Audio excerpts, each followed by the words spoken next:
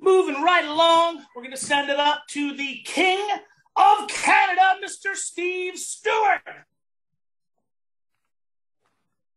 We're full mask, vaccine passports. I can't even go to a grocery store without being double vax, triple vax soon. Masking, double mask on the weekends. But I, I'm going to pull it down. I brought along a shorter guy.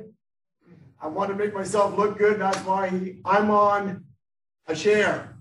But we're going to start with one that we came up with in Canada. And we do this a lot in the bars when we're all upset because of the vaccines. So we're doing retreating chair. So retreating chair, it comes, I hit that, I buckle his leg, I pull him back, I put the chair on forward, and I jump on it. Can't use his legs, can't use his arms, and I'm still the king of Canada. So that's retreating chair.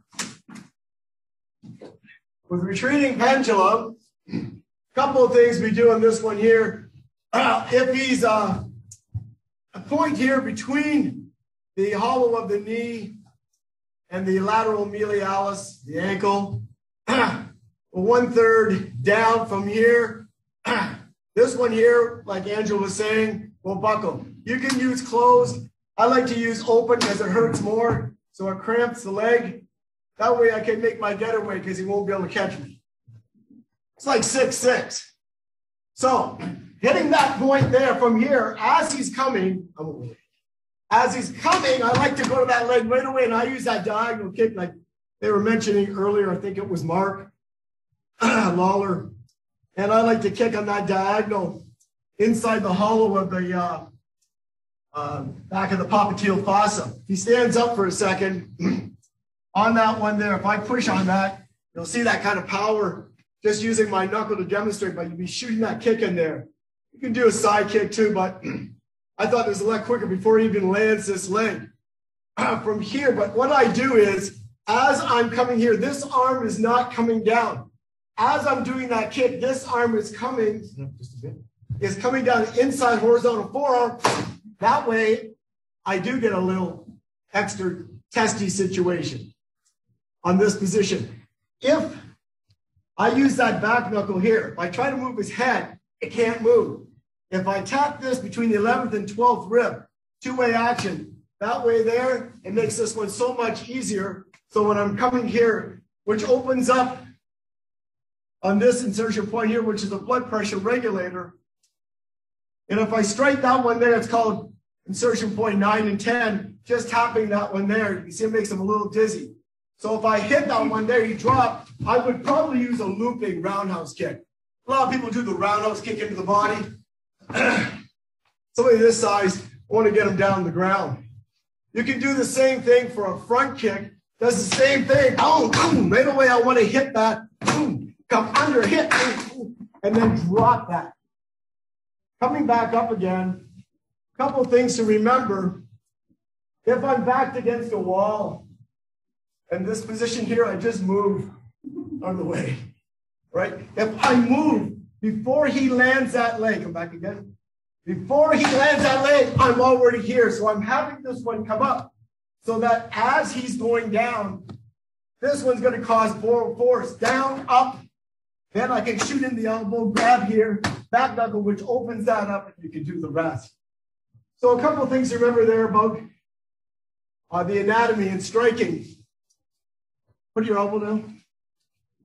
Right at the free end of the 11th 12 rip is the one that's going to release this area here. It makes it so much easier to manipulate. When I strike this one at the base of the popliteal fossa, it causes his hips to release. So here, see how the hips release? It's so much easier to maneuver. So again, the open hand or the closed strike, just remember it's like one third down, two thirds up. And you want to use two-way action, bringing it back towards you, as you can see, to get the best result. So this is Andrew, by the way. So anyway, that's my take on whatever that technique was. Back to you, Dan. Well, whatever that technique was, it was pretty terrific. Thank you, Mr. Stewart, and thank you Andrew. I almost said Angelo. I say that name a lot, you can imagine. Thank you, Steve, and thank you, Andrew. All right, moving right along. All right, we're going to move right along. We're going to send it down to Steve Stewart. Uh, Dan, you took 75 seconds. I, I, I got the Canadian clock here. I think in US time, that's a minute and a half. anyway. All right, that's your 30 seconds. Thank you, Steve Stewart. that's right. Yeah. Um, I just want to say to, to Gail, Gail, I'm sorry I missed your session last month. I had a, I had a death in the family, but um, I'll look forward to watching that. I haven't watched it yet, so I've got to make sure I see that. And uh, it's good to see everybody today. it's kind of like getting a little bit more strict up here in Canada. Still, the borders are still closed. I mean, you can fly, but you got to go through so much with PCR tests, and you got to give up your firstborn. So if you come back positive, then you got to, you know, give up your second. So right now, I'm still stuck in Canada. The King of Canada is stuck in Canada at the moment. Um, hopefully soon, I'll be able to get to see everybody in person. Uh, great presentation by all of you today. And uh, I just want to that uh, AJ and Angelo, is that what's left of California behind you? I wasn't sure. anyway, um, it's, we, we, Brotherhood's a great thing, camaraderie. Everybody uh, gives their own opinion. There's no egos.